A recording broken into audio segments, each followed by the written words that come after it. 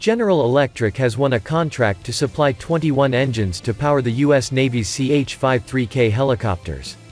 The modification contract values $101.5 million procures 21 T408 GE400 turboshaft engines and associated engine, programmatic and logistics services in support of CH-53K Lot 5 low-rate initial production aircraft.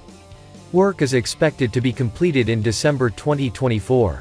The Marines plan to receive 200 CH-53 King Stallion helicopters at a total cost of $25 billion. The rotorcraft's design features three 7500 SHP engines, new composite rotor blades, and a wider aircraft cabin than previous CH-53 variants.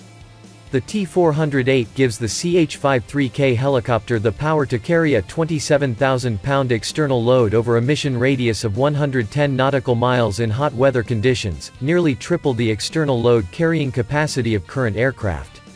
When compared to its predecessor, the T-64 turboshaft engine that powers the Super Stallion aircraft, the T-408 will provide more than 57% more power, 18% better specific fuel consumption and 63% fewer parts.